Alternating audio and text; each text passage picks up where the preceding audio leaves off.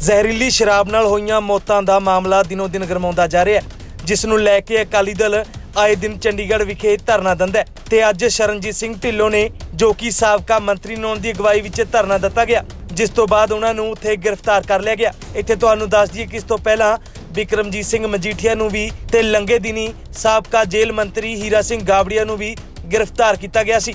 ਪਰ ਅਕਾਲੀ ਦਲ ਦਾ ਕਹਿਣਾ ਕਿ ਇਹ ਧਰਨਾ ਇਸੇ ਤਰ੍ਹਾਂ ਜਾਰੀ ਰਹੇਗਾ ਜਿੰਨਾ ਚਿਰ ਵੱਡੇ ਮਗਰਮੱਛ ਕਾਬੂ ਨਹੀਂ ਕੀਤੇ ਜਾਂਦੇ। ਜੀ ਰਾਜ ਡੈਥ ਹੋਈ ਸੀ। ਉਹ ਜਾ ਕੇ ਸੀਬੀਆਈ ਦੀ ਨਿਕਾਲੀ ਦਵੋ। ਇੱਥੇ ਦਾ 250 ਮਰ ਗਿਆ। ਕਹਿੰਦੀ ਸੀਬੀਆਈ ਦੀ ਕਿਉਂ ਨਹੀਂ ਨਿਕਾਲੀ ਦਿੰਦੇ? ਇਹ ਡਰਦੇ ਨੇ। ਇਹ ਸਾਰਾ ਉਸਨੇ ਵੱਲ ਜਾ ਰਿਹਾ। ਜਿੰਨੀ ਦੇਰ ਲੋਕਾਂ ਨੂੰ